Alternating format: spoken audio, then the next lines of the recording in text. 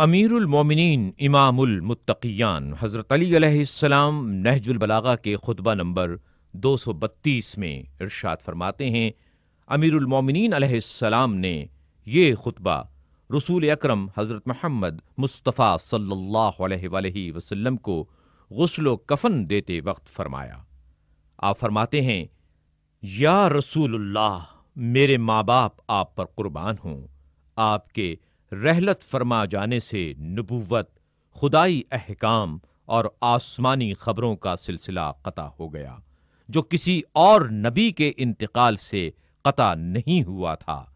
आपने इस मुसीबत में अपने अहले बैत को मखसूस किया, यहाँ तक कि आपने दूसरों के गमों से तसल्ली दे दी और इस गम को आम भी कर दिया कि सब लोग आपके सोग में बराबर के शरीक हैं।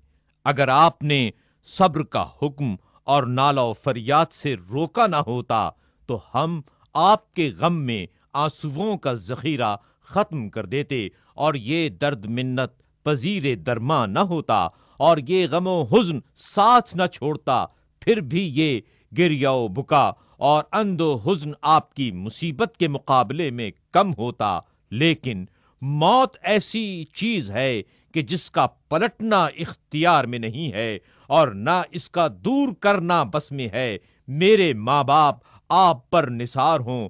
हमें भी अपने परवरदिगार के पास याद कीजिएगा और हमारा ख्याल रखिएगा।